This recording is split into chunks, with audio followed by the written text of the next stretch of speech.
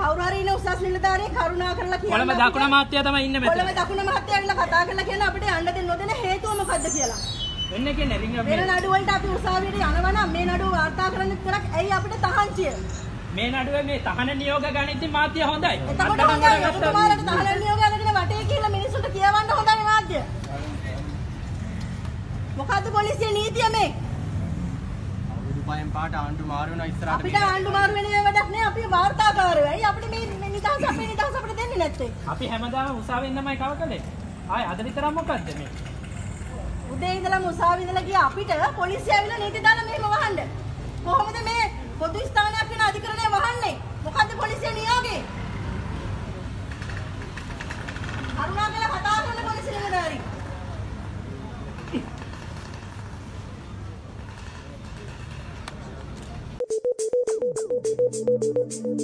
Thank you.